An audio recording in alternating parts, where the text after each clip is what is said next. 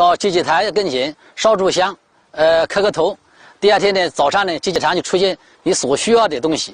接出来以后呢，呃，你要这个有机有房，它后头就不灵了。专家认为，这些祭器台可能就是祭拜台。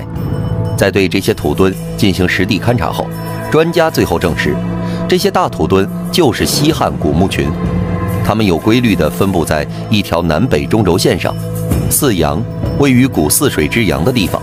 从刘邦建立西汉到王莽篡位，西汉中央政府在如今的江苏地区曾分封过五个诸侯国：楚国、吴国、江都国、广陵国、泗水国。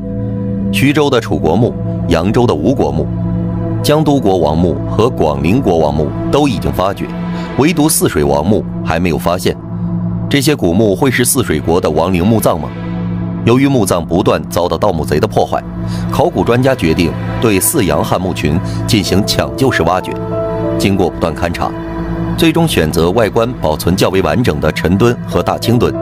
大清墩汉墓占地七千平方米，陈墩在大清墩的北侧，占地一千七百多平方米。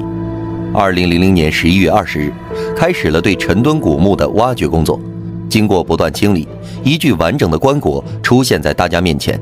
这座汉墓有主棺和边厢两个部分，专家在边箱部分共出土了七十五件文物，这些文物中有青铜壶、青铜鼎、漆盘、耳杯等。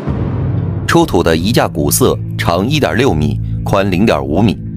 除了古瑟，还发现了很多和音乐有关的器物。随后将主棺打开后，眼前的景象不免让大家有些失落。主棺内除了一具古人遗骸，就剩下为数不多的随葬器物。这时，在整理边箱文物的考古人员发现了一。